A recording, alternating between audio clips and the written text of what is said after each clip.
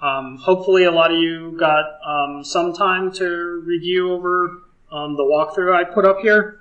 Um, what I will do is I'll spend um, part of the beginning of class going back over some of that stuff, but I'll go through it very quickly, um, just to kind of familiarize you with, you know, with Yara.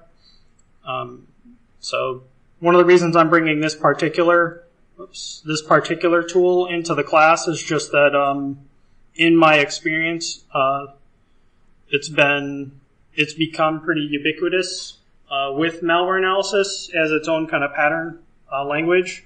Um, so those of you who've taken the automata class um, here for the computer science or computer engineering uh, undergrad or graduate uh, program uh, may recognize some of the concepts in this. Um, but for um, for those of you who haven't, what it is is pattern matching language so the idea is you observe, uh, you analyze uh, what's in the malicious file, and then you try to describe using a lot of logic and different patterns, different byte strings, uh, how to search for that information in another file. Um, or I should say in a large pile of, uh, of files. So um, that said, um, this page here is uh, really, really beneficial to look at. You can see um, it has had a large adoption rate here. Uh, so a lot of these companies, um, so you might recognize them like Trend or um, Tanium or, you know, FireEye's probably on here as well. Um, CrowdStrike's going to be on here too. Um, so a lot of these different uh, companies are some of the common inf- information security companies. Um, a lot of this is indicative that they have taken this free tool on the internet and they have built it into uh, the software that they use and they resell to consumers and enterprises. Uh, so, for any of you who may go into uh, the information security field after this class, um, this particular library, this particular pattern matching language is going to be the type of uh, the type of thing that you're likely to encounter out there in the field, and probably the one thing uh, among all other like different security libraries and security um, tools that you're likely to come in contact with no matter where you work um, if you're going to do malware analysis or incident analysis, that type of thing. So it's got extensive documentation. Um, there's a lot of pages here. I'm not going to go through the entire documentation myself, uh, but I will do, or what I will do is um, kind of go through some of these examples. So I thought it'd be easiest, um, just from a readability standpoint, to kind of um, get your feet wet, to pull the text of a um, you know, well-known story um, off of Project Gutenberg, which uh, if you want to do, especially if you're in a graduate program and you're doing some sort of uh, work on kind of text uh, analysis and stuff like that, um, this is actually a great resource because they have, you know, all these ebooks here, and they actually have them broken out into a bunch of different formats uh, that might be useful for uh, your research project. So I a lot of times will go to this when I want to do some sort of content or text analysis uh, work, uh, such as in this case. So that said, um, this right here, I, mean, I have the whole thing on the screen, so this is about as big as I can get it. Uh, it looks pretty readable on the monitor. Um, this is about as big as I can get it, um, and still have it readable on the screen here, or still have it fit in the view. so the Yara rule is basically broken into these three different uh, sections. Um, the first section is this meta section, and really what this is is uh, there's no defin- there's no definition here for these different fields. Um, these are kind of arbitrarily defined fields uh, that you can add to any of the rules. Um, they're really helpful for, say, organizing uh, your rule set and um, you know that type of stuff. Um, so basically, um, I don't think there's any upper limit on these, or if there there is, it's really high. Um, this is an opportunity to kind of over document um, because uh, one thing that I have learned doing this for many years is that something that seems like you don't need to document it at one time then four years later uh, becomes uh, uh, it becomes uh, clear that you should have documented more um, because you don't know uh, why it was written in the first place. So I've always found error on over documentation, and you can basically document anything you want here. So a lot of common time, a lot of common things that I might do. Um, I'll like go in here because we've been working with it, but um, you know, I might open up like rule one, which I think is this one, right? So I might open up this rule. A real common thing that I'll run into with uh, you know, with different malware rules that are written off of uh, malware samples that I've analyzed, is I might end up wanting to put like the MD5 checksum in there for the file that I used. Like this, the file that I used to generate it in the first place. So, so there we go. Or I can say, you know, hash MD5 1, like that. I can choose to name it whatever I want. Um, the nice thing about this is that uh, then I can take this and I now have a permanent reference between this rule and at least one of the malware files that I used to generate it. Another thing is, uh, you know, I might um, maybe decide that I want to do this so that I can tell myself where I can go back and get that file again in the future, right? So where did I get this from? Where is the source from? Uh, so those of you who may work with um, a tool called VirusTotal, um, which is a big online malware database, uh, that's usually a subscription service, but a lot of the security companies out there pay for the subscription on behalf of their employees, and some of the other security teams out there do that. Um, you know, this is a you know really good uh, place to put that information as well. Um, or you might say pull a Yara signature that happens to be posted inside of a web article or something like that. So it's a good way to kind of embed that information in here so that you can more easily find the answers you're looking for in the future.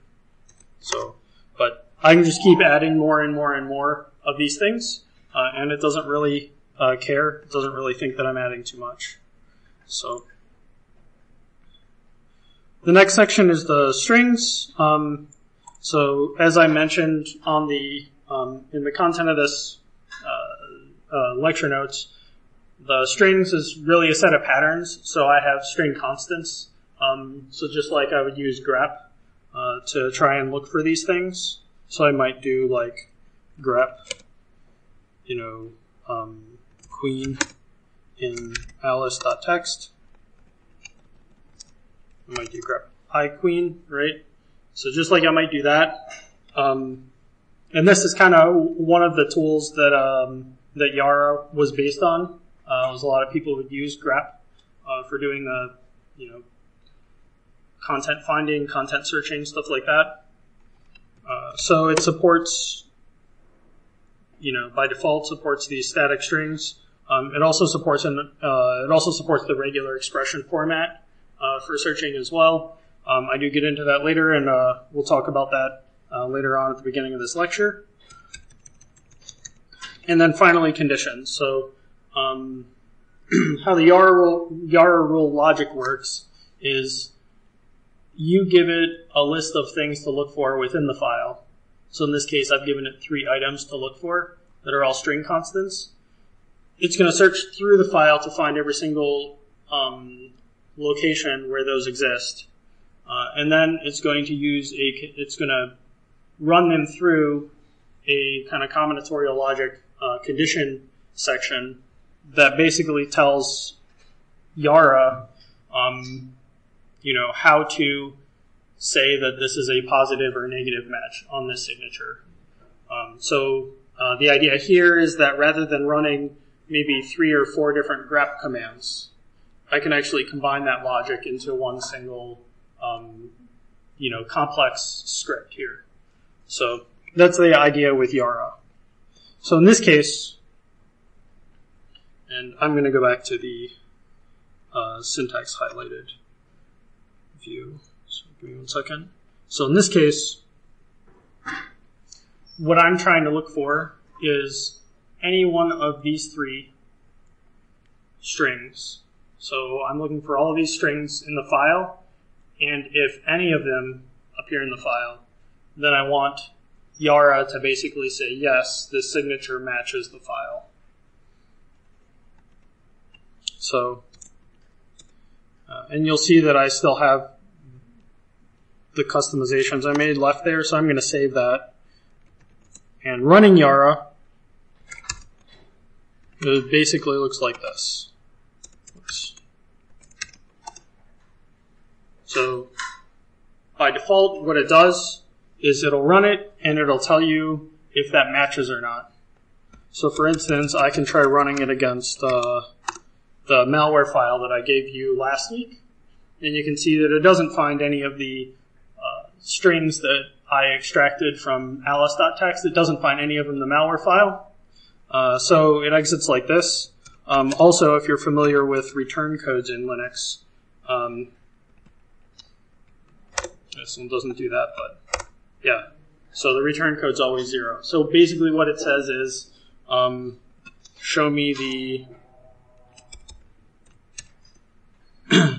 show me the output uh, if there's a match or not. Um, I'm actually trying to see if there's a modification to this that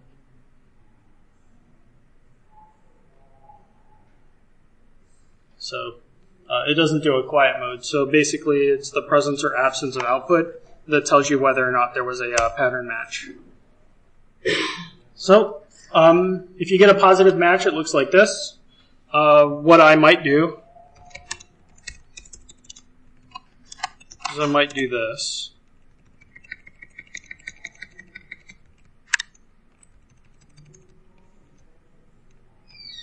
So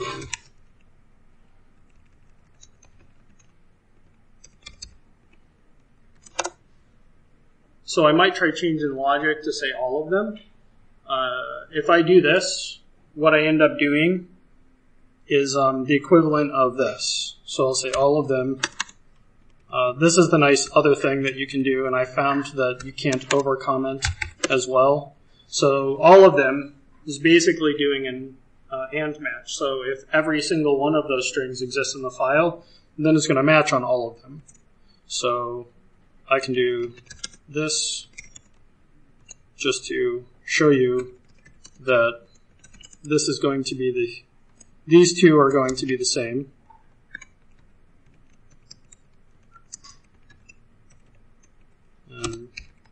These two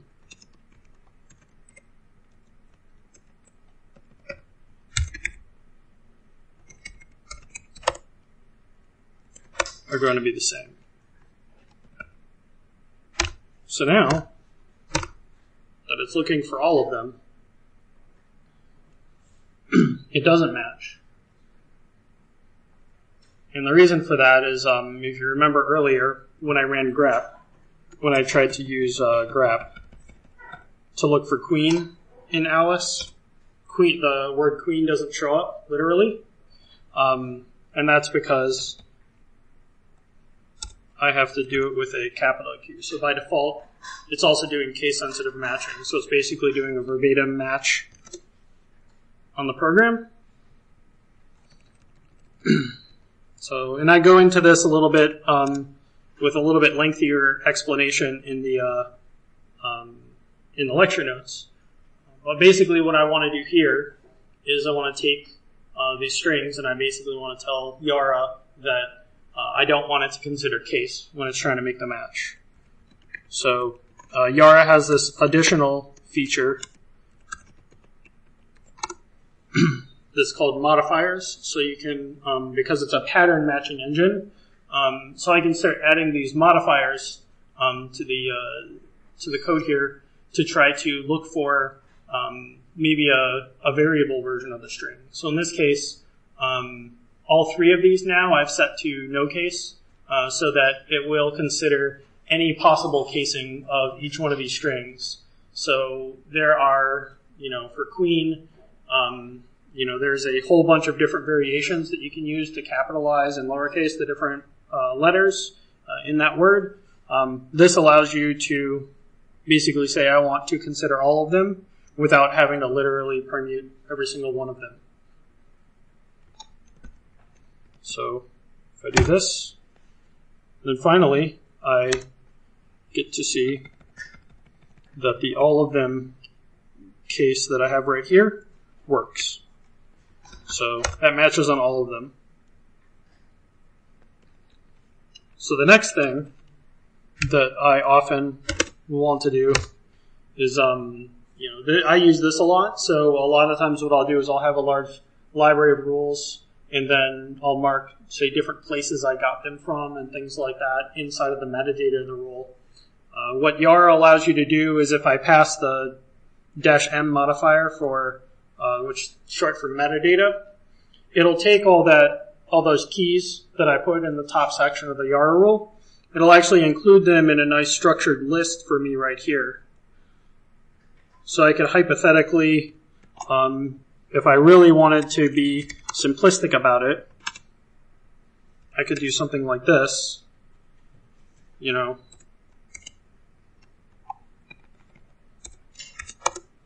oops.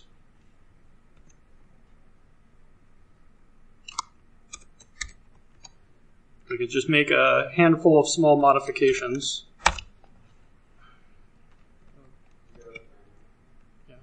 The problem is it's not JavaScript.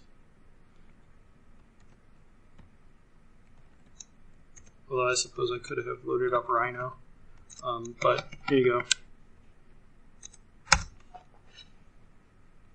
What am I doing?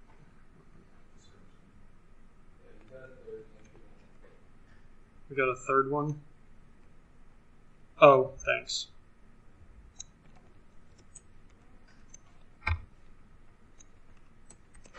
There we go. And so then, you know, I can structure it. So if I wanted to, I could run this stuff through a very simple Python filter. Um, or what's really common, and uh, you'll learn about this later, um, is that if I dump all of these, you know, if I dump all these rule hits into something like, uh, you know, Splunk or Elasticsearch or something like that, where I can uh, have it parse uh, the output into field uh, data, uh, then I'm able to um, I'm able to search on each one of these things. So, for instance, you know, I can now look at the URL source um, for every single one of my rule hits, right? And so, in my case, I might um, get uh, YAR, I might build YAR rules from uh, different malware samples. So, for instance, we've been calling the one that I've been using for the examples in class uh, Revolution Shell but throughout class we've probably made about five or six different uh, variations of it, right? Um, so I might actually want to have references in here that mark both revolution shell and then maybe generation or something like that as separate fields. That'll give me the ability to say, um, you know, run my YAR rule that's trying to discover information about or trying to identify uh, different malware samples uh, against a large library of unknown files um, I might be able to use that to count the different samples that I have from each one of them. So, but yeah. so getting back to this example, um, that can be really helpful, uh, especially because um, it kind of separates them with the uh, square brackets as well. So it makes it really easy to parse uh, if you use a, a handful of you know, uh, command line tools. It's like, even if you want to go old school with sed and awk and all of those things. so then the next thing uh, that I might want to do um, is I know that it matches the file, and I know that there were three string or three string values that I was looking for within the file, um, but I don't actually know um, what of those, or I should say, how many matches there were for each of those three. Um, nor do I know anything about the different, say, um, uh, upper and lower casing and that type of thing. so what I can do is I can run, and I'll keep the run up here, but uh, I can run the command with the dash s modifier, which allows it to output the string content. So um, this isn't the content from the YARA rule. This is the content from the actual file itself. Uh, and you can see that depicted here uh, with all the Alice's I have on the screen. But then the last one is the all capitals Alice. So that rule pattern with the no case that I added in here allowed me to um, uh, allowed me to basically match any variation of Alice that I wanted to. So, um, you know, a lot of times what I end up doing um, is I'll actually use some of the command line tools to um, to slice this up and give me summary information about it. So one of the things that I would like to that I'd like to know is um, I already know that there was a rule match. Um, I might want to know how many times did each one of the words match, um, or each one of the string patterns match. Uh, so in that case, I might want to try and count this middle value here um, to try and see um, how many of each one of the string names, the things with the dollar sign, how many of each one of those show up in this output. So I'm going to look at the second field and I'm going to consider each one of these to be the different fields.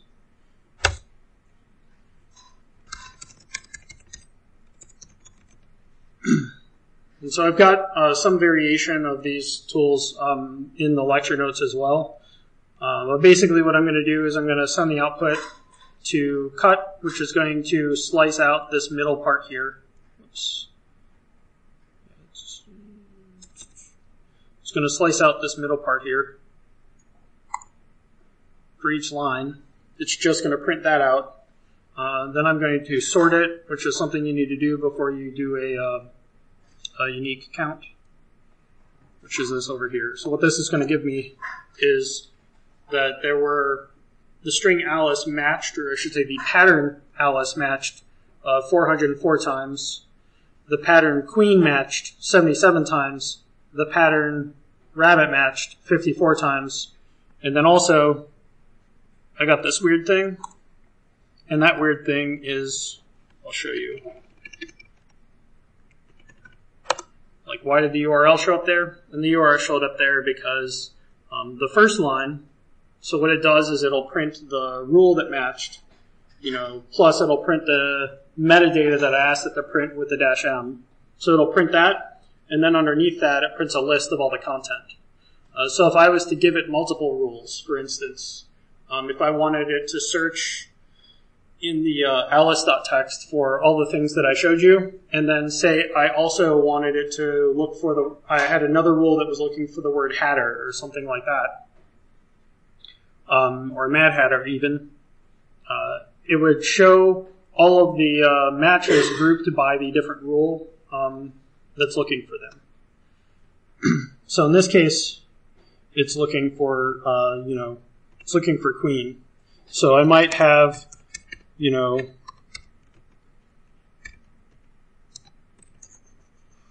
we'll just do this. Yeah, we'll do one really quickly here um, to kind of show.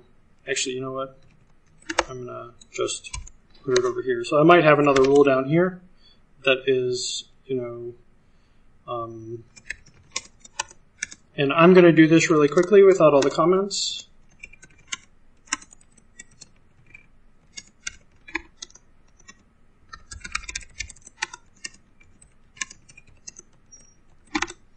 And I'm going to uh, do a, uh, will just do like, you know, fight, right? I can type. and I'll show you um, this one of them, uh, basically them, ends up kind of matching any uh, a list of any strings um, or any patterns that you provide in the uh, file. Uh, so this says that one of them uh, has the match. You can also do like two of them has the match or something like that. So if I put five strings in here, I could have it match any two of them, but not just one. Um, and it could match anything more than two of them as well. Um, but right now I'm just going to say one of them. I'm going to put hatter right here. And then I think that this should, yeah. And let's not show the output right now so you can kind of see what this looks like. So now what this looks like is it's got a, and what I'll do is I'm gonna, I'm gonna add one more thing here, you know.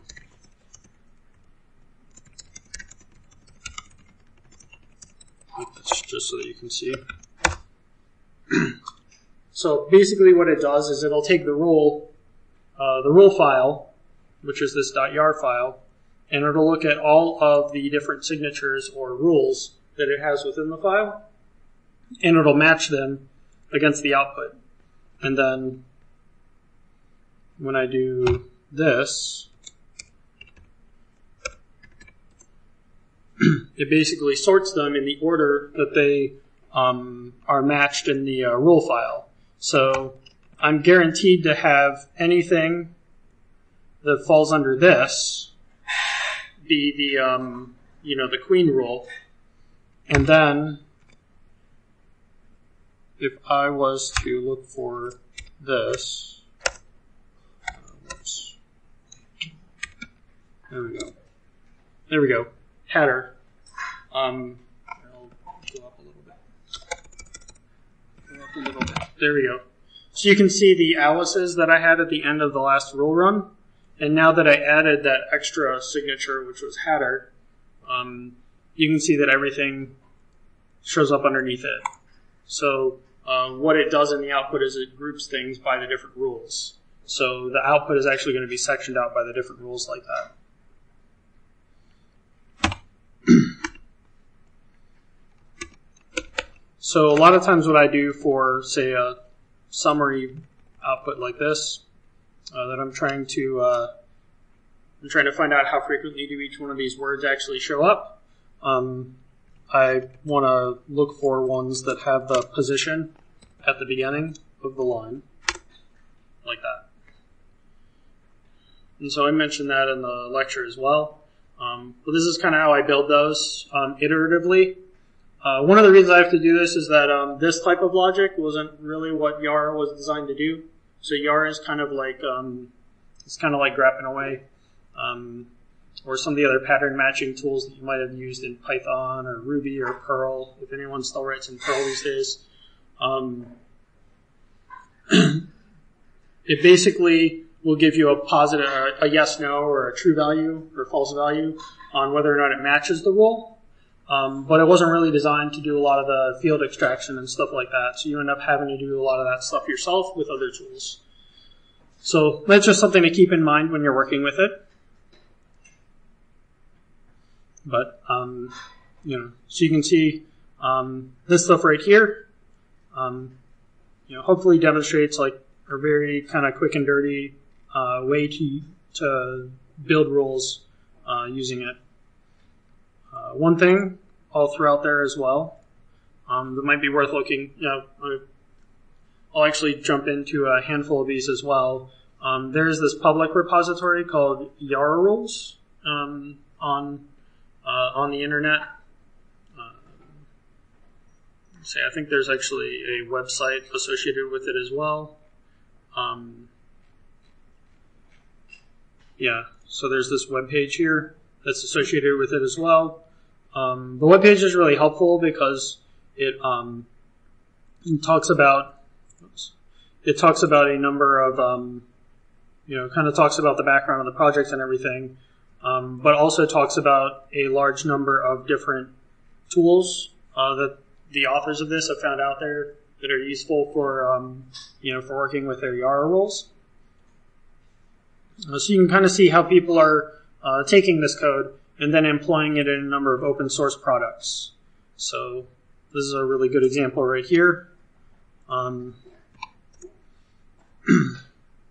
there's a disassembler called um, called R2, which is sim- or Radare2, uh, which is kind of similar to Ghidra in some respects, um, but it's a lot more kind of command line focused, um, and it's a little bit more um, uh, it's a little bit more obscure. Or this is a um, there are a lot of shortcuts that you have to memorize in order to use it effectively.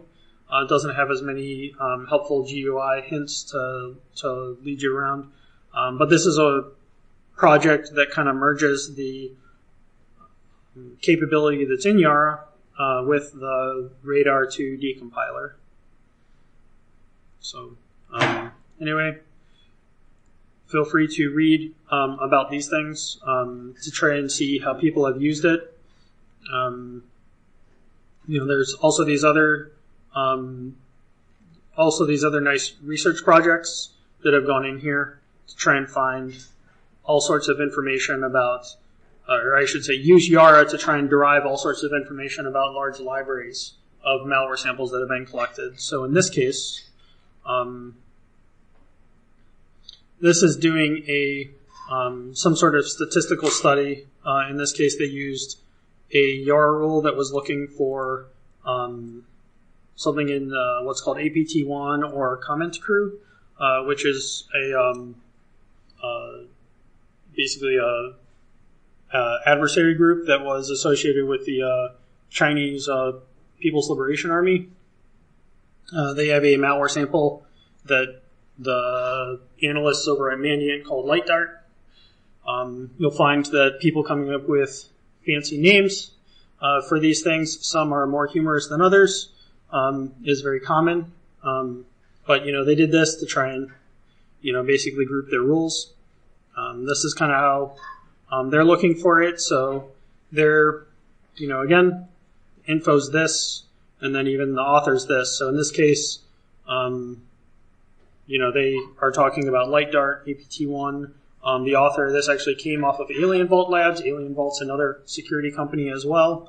Um, and then it's got, you know, some nice, like, semi-structured info here. Um, they're basically looking for the presence of every single one of these strings.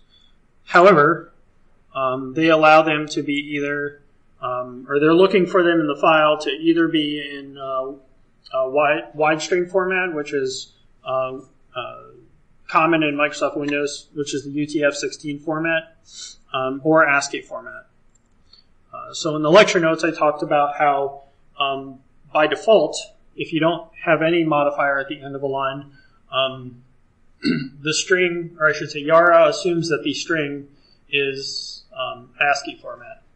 Um, but if you add any modifier to it, then it considers it to only be representing a pattern that matches that particular modifier. Um, so in this case, um, if they just added wide to the end of ret.log, then it would no longer match the normal ASCII UTF-8 version of that. It would only match the 16-bit uh, string. Uh, so they had to add the ASCII on the end of it as well in order to make sure that it includes the default behavior in addition to the new behavior that they defined. Um, so it's a little ca- uh, gotcha sometimes uh, that's worth keeping in mind. Um, but basically, they're looking for all five of these strings. Um, they numbered them. Um, I usually recommend not to um, use very short variable names like this. Um, a lot of times, it can be very helpful to uh, try and describe or try and use the variable name to describe what each one of these things are. Uh, so, for instance, this might be a file name and this might be a user agent string, like the user agent string that a web browser sends to a website when it's uh, fetching a web page. Um, in this particular case, um, the APT1 group, uh, they were extremely notorious for uh, compromising a large number of um, publicly accessible blogs and other websites that were on the internet uh, that were um, that were that were used um, for kind of small business purposes or used as personal sites and things like that.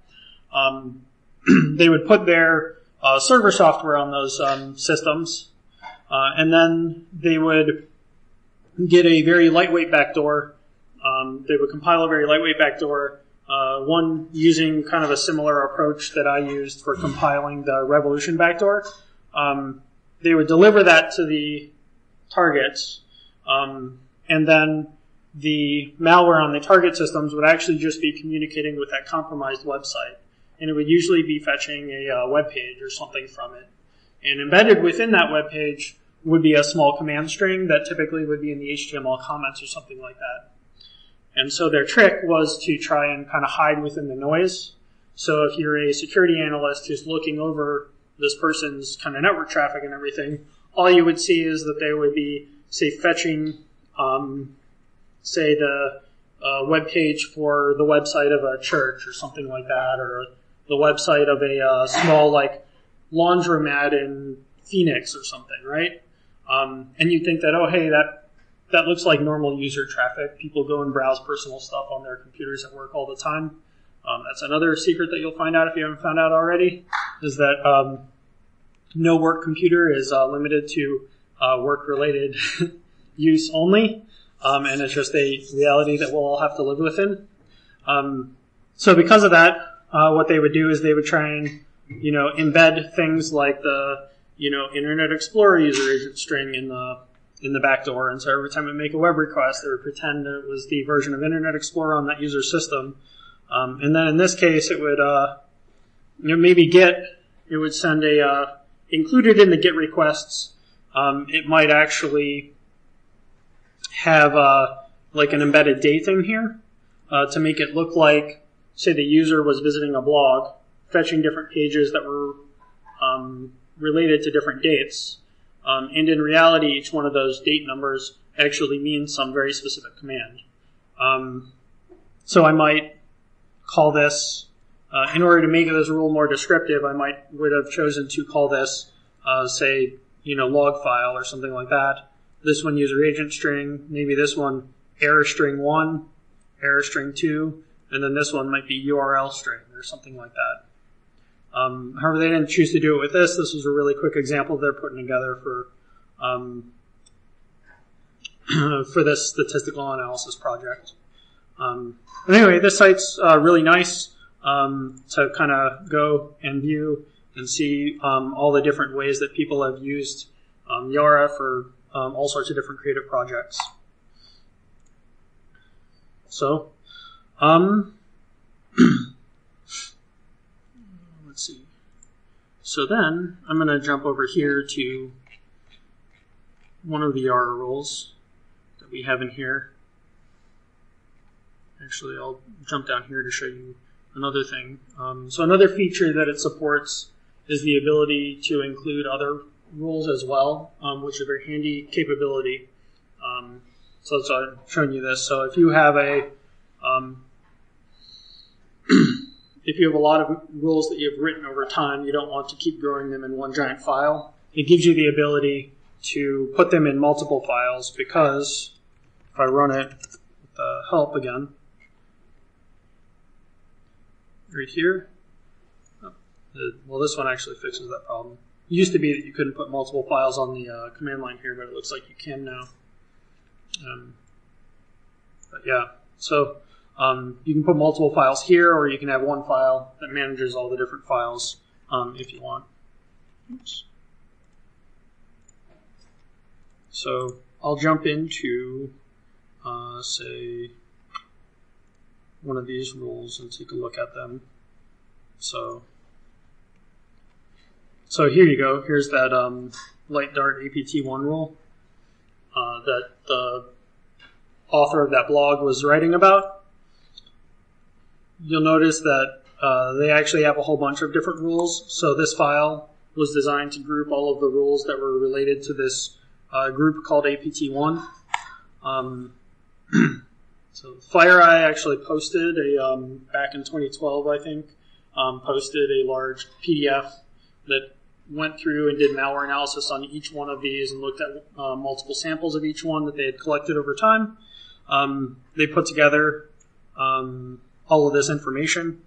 Uh, and that's basically what's embedded in here. So it looks like, uh, for whatever reason, uh, the information was maybe converted to Yara rules on Alien Vault Lab's site, and then the person who wrote this signature inside of the Yara rules repository ended up using the version that was posted at Alien Vault. So this is a very long file, but uh, let's see. So, one of the other features that it has that's really nice because um, tools like grep and even a lot of the programming languages that you have don't have it um, is the ability to make patterns out of sequences of bytes. So we'll look at this. We can look at strings, hexadecimal strings. So this is a really long one that they have here, and uh, it's a what I call a uh, hexadecimal string literal. But this allows you to make a pattern out of even non-printable bytes um, without it uh, being something where you have to put the uh, um, the C string escapes in there, right? You don't have to put the slash x and then the two numbers or something like that. So they show a little bit more advanced usage over here. Uh, so what you can see here is that um, there's E2 um, 34, so this will only match if basically you have two bytes that are these two right next to each other, and then they have to be followed by another byte. And then that byte has to be followed by the byte C8. And then that has to be followed by um, a range of byte values. So it'll support any byte value as long as the uh, first part of it is A. So A0 through AF. Um, it'll support and then followed by FB. So it's looking for a six byte string, uh, and it gives some flexibility in the wildcard pattern here. So it uses um, the question marks as a way to define a, um, a wildcard value. And you can do a wildcard on a partial byte. So uh, if I wanted, I could have switched the position here and had the question mark be the first letter and then the A be the second letter, and then it'll match on anything that ends in A rather than begins with A.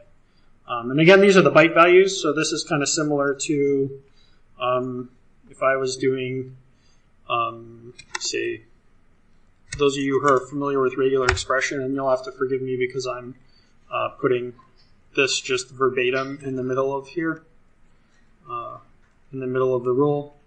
Um.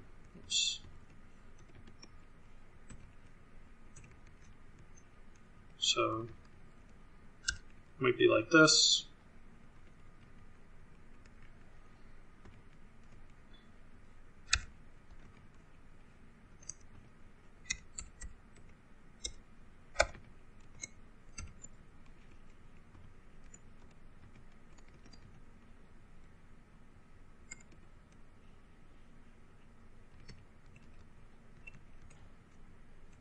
And we'll just put it here, right?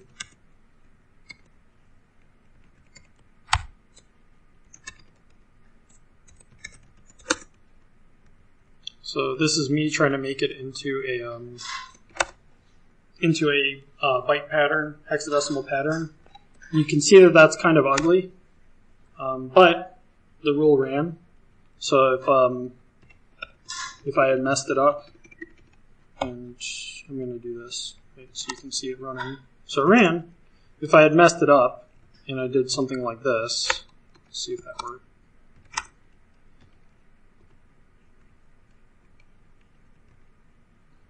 see. I don't know how to make a bad pattern, but you know, if I had done something like that, right? If I had screwed it up, uh, then it gives a nice syntax error and it doesn't try matching anything at all. Um, so, but basically, um, the pattern that you see on the screen is going to be the same as uh, the one that I originally pulled. Right?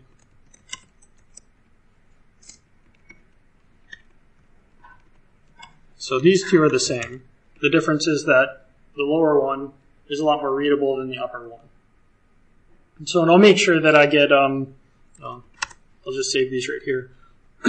I'll make sure that I get these, um, or this example uploaded on the course website as well, because uh, it kind of um, demonstrates the power of the hexadecimal syntax.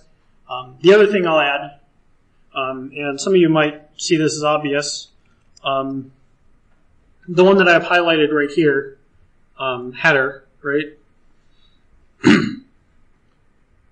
this is your fastest running pattern.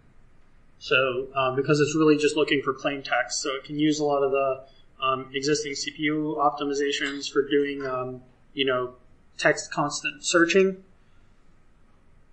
This pattern that has to use a much more complex regular expression syntax has a lot more power, but also a lot more variability in the um, uh, in the matching that it can do. So there's a lot more code to execute each time it's trying to do a match.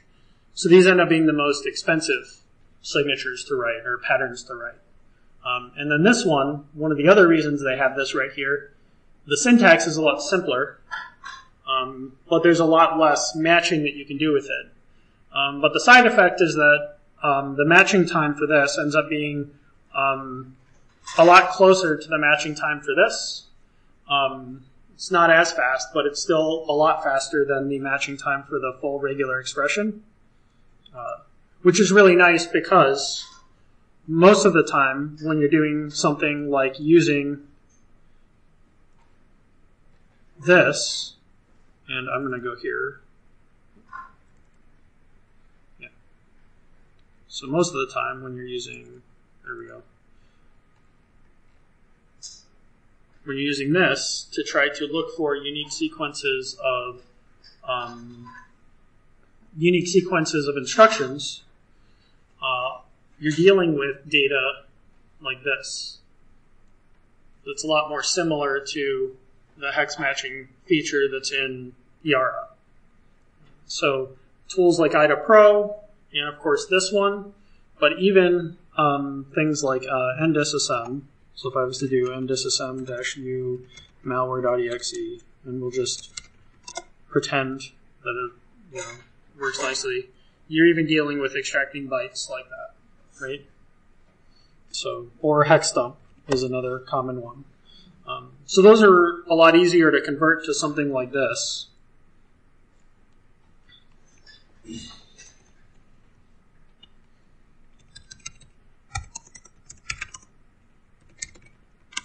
So now, what I will do is let's um, let's look at the um, the malware file that I gave everyone for the um, uh, uh, for the midterm assignment, right? Um, or not the midterm assignment, the one that I packaged with last week's assignment. Um, so this is uh, this is one of the functions. So there are uh, a couple of functions in here that have some uh, decryption logic in them. I think it's these three right here have uh, various forms of decryption logic built into them. Uh, I've found, or not these three, but uh, this one up here, I think. Yeah. So this one up here has uh, has some decryption logic built into it. Um, so I found uh, that encrypting data and then decrypting it again at runtime is a common practice that a lot of uh, a lot of malware ends up using because it's a good way to hide, uh, conceal what's going on, um, so that say anything that's scanning data that might be uploaded to a um, you know Dropbox or Box.com or uh, SharePoint or Google Drive or any of that stuff. Um, it helps to evade any of the built-in antivirus logic that one of those companies might have. Um, but it also helps it uh, avoid detection if it's sitting latent on your system.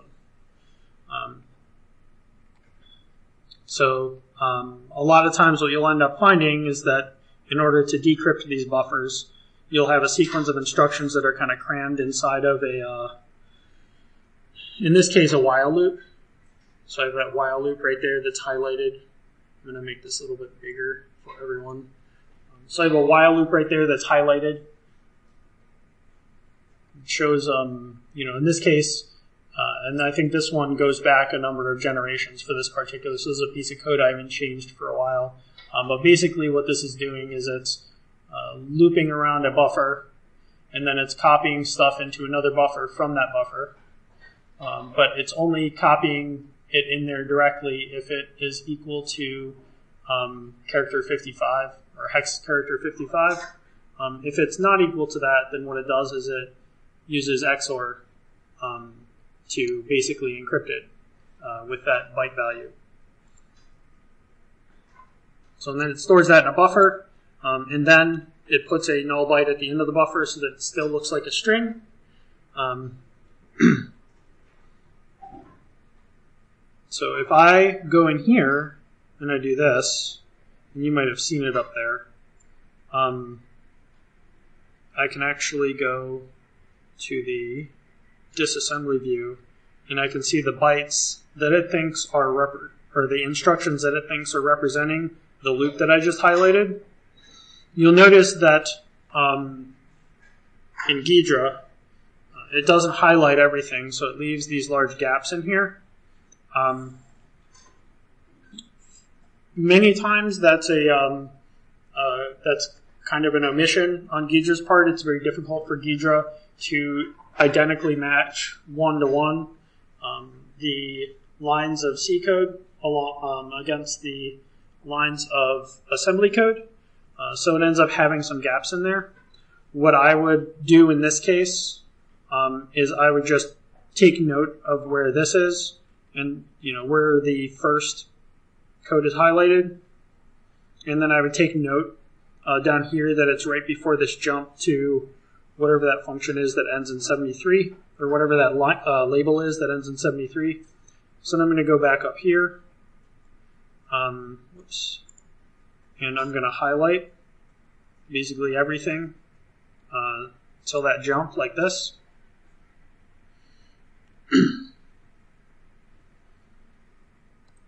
and then when I do that, I'm going to copy.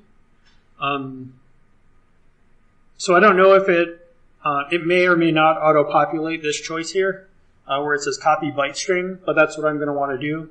So if you don't have that, I'll show you uh, where you can always find that, which is if you do copy special. and we did this, but we uh, we did this before, but we chose a different option from this.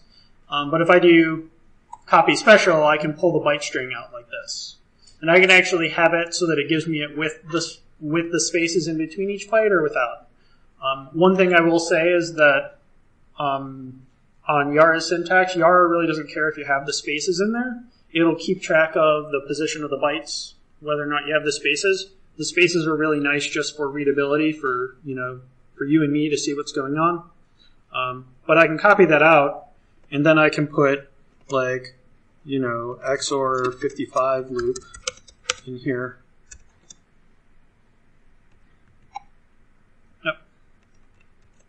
Whoops. so, uh, let me just uh, try that again. Oh, I must have accidentally picked the wrong thing. So here we go. I'll do it the right way this time.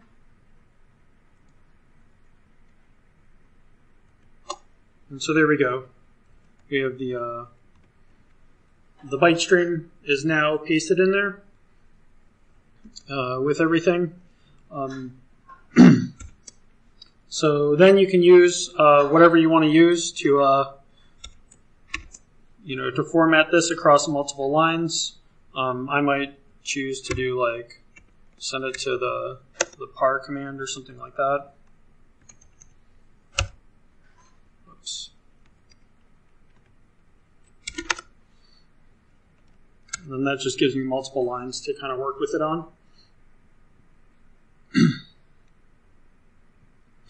So the other thing um, that could be useful, so what this does is this is actually going to match the bytes uh, directly.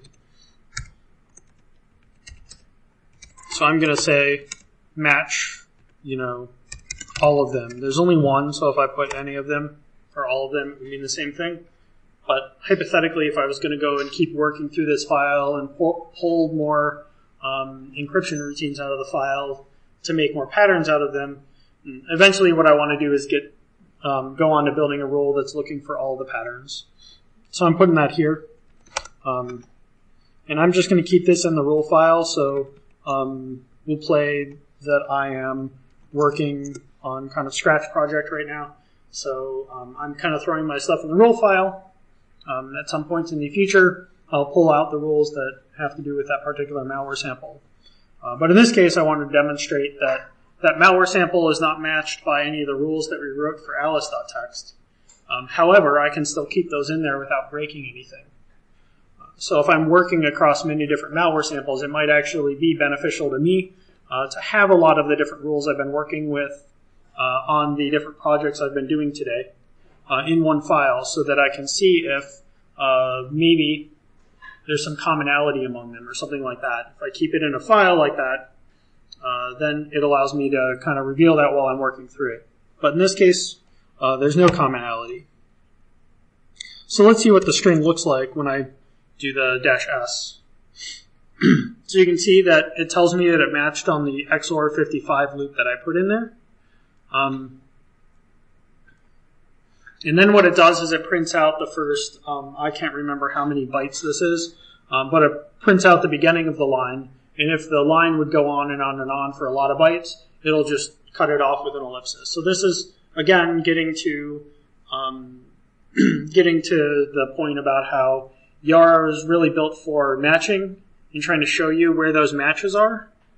Um, but uh, the use case of uh, relying upon it for field extraction and data extraction um, is not something that's the focus. So a lot of times, if you want that feature, so if you want your signatures, or if you want the output from your signatures to be something that then is reported or saved in a file and stuff like that uh, that you're working on, uh, it may be a lot more reliable to pull out the position information and then have another tool that actually goes in there and extracts the data at those positions for you.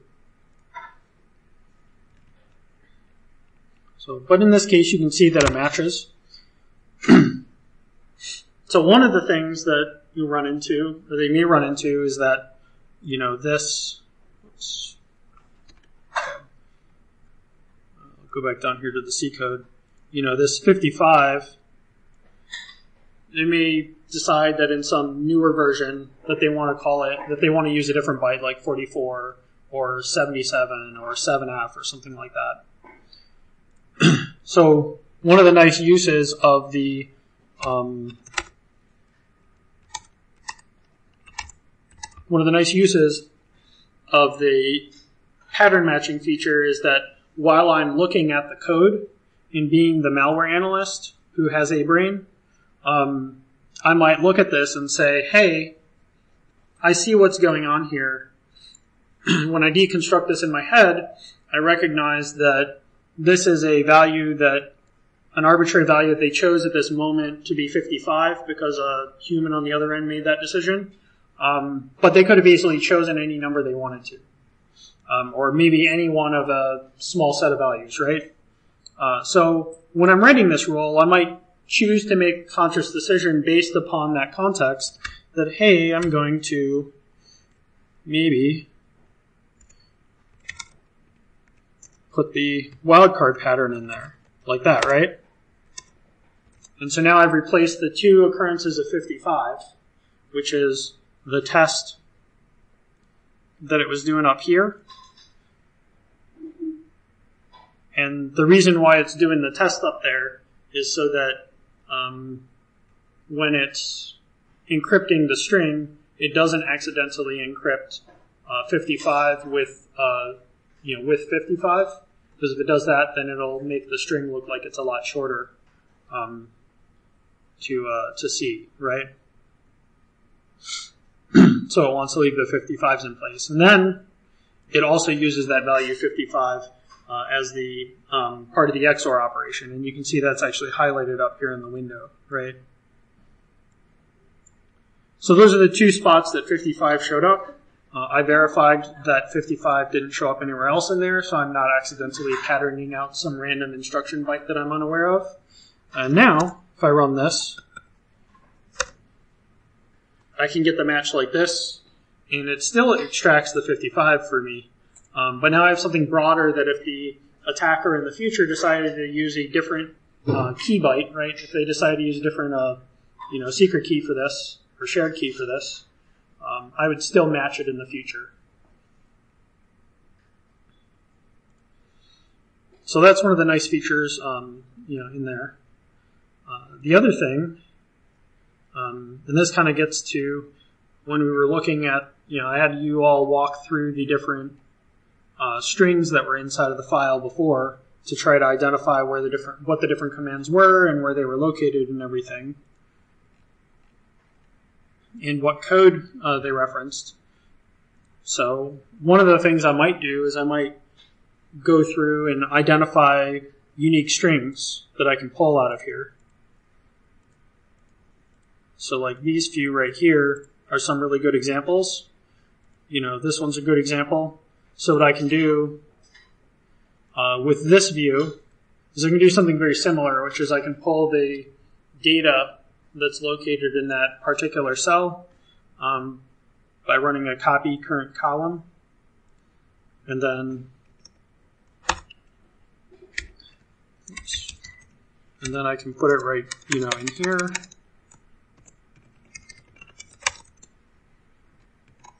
Like that, right? So I can pull uh, the current column. If I was to just do a copy like this, uh, what it ends up doing, and this is very similar to the behavior that Ghidra does elsewhere, is it'll actually pull the entire row out, right?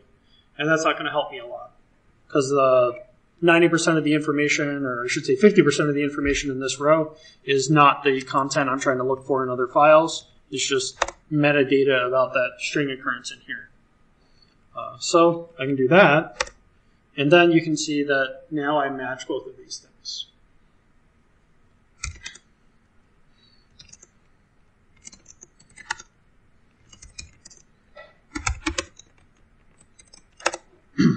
so um, one of the other things I ended up doing um, was I took some time to um, I took some time to uh, let me make this a little bigger for everyone.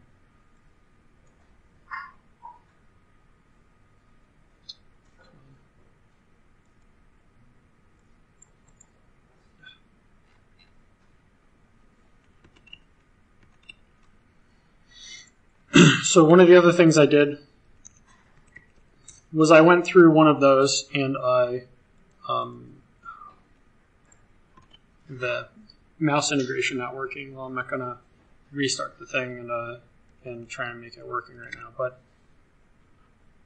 one of the things I did was I pulled one of the other decryption loops out. This one's actually a lot longer, um, and uh, I believe that this one was used for encrypting the data that was in the um, was in the strings that it uh, was running up against the system info tool or something like that. And uh, it had a very complex um, substitution cipher that it was using. Uh, so I pulled that data out and I put it in these bytes here, but I can use the same approach with that. Uh, in this case, I might call it byte decrypt loop. And then a lot of times when I'm uh, working with uh, analyzing a malware sample or something like that, um, it's usually helpful to add um, you know comments like this. Uh, I might even go so far as to add in, you know, say the, you know,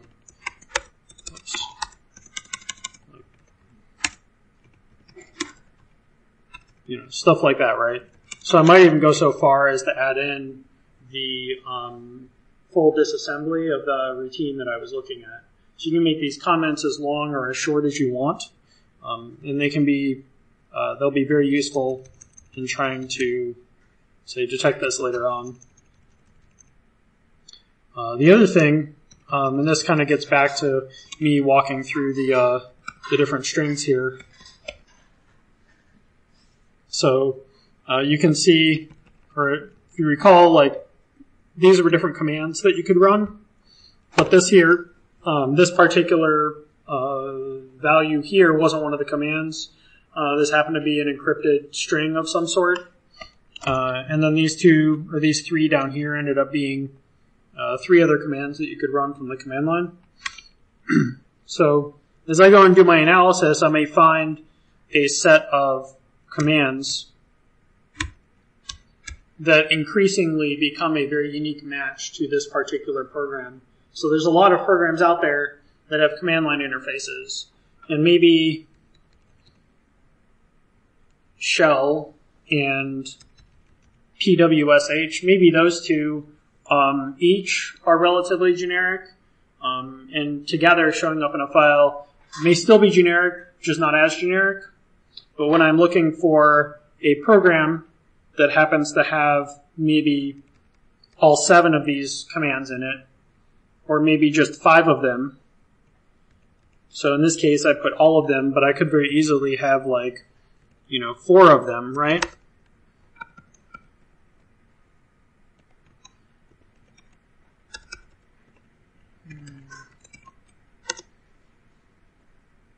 Great.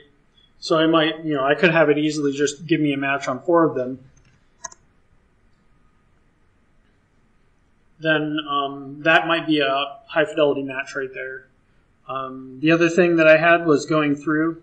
Um, so if you remember, there was the uh, the troll face string was on there. I'm going to actually do this because it was uppercased, but who knows how they might implement it in the future. Um, so these were additional strings that I found. Um, none of these three, when I looked through the code, were actually a command. Uh, I just found them to be strings that uh, maybe were referenced during execution or something like that. Uh, I think in one case, um, this right here was a was put into a message box. Um, I forget what this um, secret was used for, but it might have been for like the FTP password or something like that. Um, and then this might have been the username for the FTP server. So if you remember, there's a uh, FTP server component to this uh, that it will run, uh, and any of the screenshots that you collect or any of the files you steal from the system will get uploaded to that FTP server. And then finally, um, there were two, or I should say, I pulled out two of the encrypted strings. I might have pulled out more if I kept doing analysis, um, and I'm matching on those as well. Uh, so uh, one of the nice features that I like to do, um, and this kind of goes back to how it's very helpful to try to give good descriptive names to each one of the variables. Uh, in this case, I've separated these three, or I've separated all of these. Um, what is there? There's like uh, maybe 11 or 12 different strings in here. I've separated them into three different groups. You know, three different groups of strings. Um, and then what I ended up doing was I matched them, and I said, make this string fire, or make the signature fire, sorry, make the signature fire if either four of these strings match, or all three of these match, or any of these two match. And one of the things that I found uh, when looking into malware samples is that um, while this revolution backdoor was used, right, um, in the uh, example that I gave in the midterm, I pulled one of the functions from that other piece of code, the VM detection code that I had. Um, I pulled one of the functions out of there, and I may have changed the string slightly from it, but by and large, the code that was already in there that was doing the work of trying to find out whether it's running in a VM or not, uh, that was still retained intact. Um, that's actually a common design pattern that you'll find is that um, adversaries may be working off of a handful of large C files that have these different utility functions in them. Uh, say the encryption routines that I was pulling out earlier for the Yara signature, um, or in this case, um, the encryption routines that are used for decrypting each one of these strings. Um, so the adversary who maybe has limited amount of access to um, machines to run backdoors and tools and things like that from could conceivably decide that maybe they'll attack the system, maybe they'll attack some systems with the revolution shell, but they also find out that there's other systems out there that are not vulnerable or are not able to run that shell. They may have developed a different tool that works on those, and rather than also re-implement every single other feature and customization they've added to this one, they'll just start copy pasting stuff over there. Because that's what we do as developers is we copy paste stuff all over the place, right? so the adversary is no different. Uh, there are developers that have all of the same time pressures and uh, frustration with having to rewrite something from scratch. Um, so, in this case, the one that I've highlighted here, um, if you uh, probably most of you should have figured this out, is a IP address that's encoded, and it's the IP address that's encrypted. That IP address, it would be very interesting if that exact encrypted IP address string showed up in any file anywhere, whether or not it's the same backdoor or not. Um, that also could conceivably be a very high fidelity connection to this particular actor because the IP address um, you know, is kind of unique. Uh, but then the specific encryption value they chose to use for that IP address is also very unique. Uh, so you might be able to use this to go and dig through a large, say, library of malware samples that you haven't gotten a chance to look at in the past and find a completely different malware sample that's maybe a different backdoor that they're using in their toolbox, um, just based upon, say, an, the presence of an encrypted string like this one or this one down here uh, showing up in both places. Um, and that's kind of why I have the rule written like this, right? So um, make it narrow enough, matching each one of these, so that uh, in general it's going to retrieve something or recall something, uh, as we you know as we say. It's going to recall something that is, uh, you know, high confidence connection to this particular uh, malware, this particular attack, um, but also uh, leave the door open that hey, one of these might show up in it, and it may not be related to any of this stuff at all. Um, or one of the all of these three might show up in it as well, and it might be indicative of reusing the FTP code with a completely different backdoor. So that's kind of the wisdom here, and those are some of the thought processes to consider when you're doing malware analysis and trying to convert that information into uh, URLs. So, of course, run this, and then there's the output of it again, just so that you all can see it. All right. We'll go ahead and uh, adjourn class for today. Um, if you haven't gotten a chance to look at the, uh, uh, to go through the walkthrough uh, that I posted, definitely go through that. Um, I don't cover all this in it, um, but it's a good intro to this stuff. And then you'll have to do um, some elaboration of this second half of class uh, as part of the lab later on.